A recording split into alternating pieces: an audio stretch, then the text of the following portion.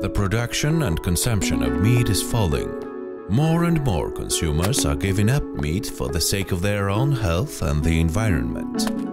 However, it is still a huge industry and food sector that needs to be safe for people. We hear about poor breeding conditions and low quality meats in which drug residues are found. Livestock breeding accelerates climate change, and environmental degradation affects animal health and food quality.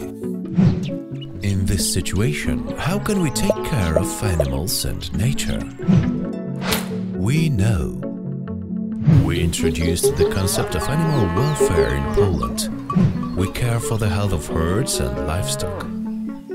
We increase the immunity of animals thanks to adequate nutrition. In feed additives, we use, among other things, biochar, algae and natural polyphenolic extracts. We minimize the emission of metabolites and odorous substances.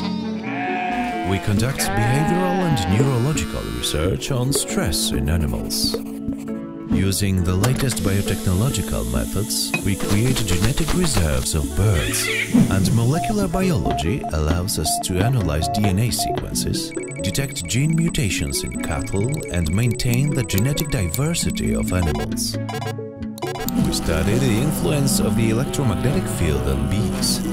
We are working on a bacteriophage preparation for the prevention and treatment of American foul brood. We are testing additives for feeding bees that protect them against poisoning with pesticides.